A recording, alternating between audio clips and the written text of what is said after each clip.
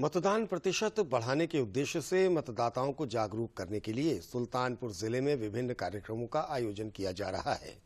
जिला निर्वाचन अधिकारी के द्वारा पतंग प्रतियोगिता का शुभारंभ किया गया, जिसमें ज़िले के एक दर्जन से ज़्यादा पतंगबाजों ने पतंगबाजी के माध्यम से मतदाताओं को जागरूक किया। इस कार्यक्रम का उद्देश्य लोगों को अधिक से अधिक मतदान के लिए प्रेरित करना था। इस अवसर पर क्रिकेट प्रतियोगिता का भी आयोजन किया गया।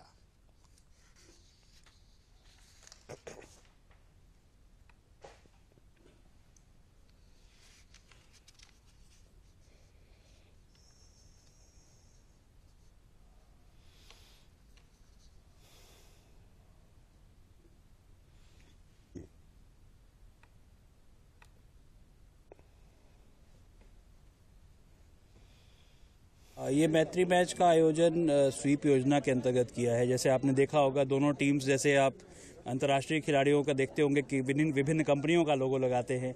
हमारे दोनों तरफ़ के खिलाड़ियों ने वोट सुल्तानपुर और पीछे हिंदी में ही वोट सुल्तानपुर का मैसेज लेते हुए लोगो लगा के खेला है।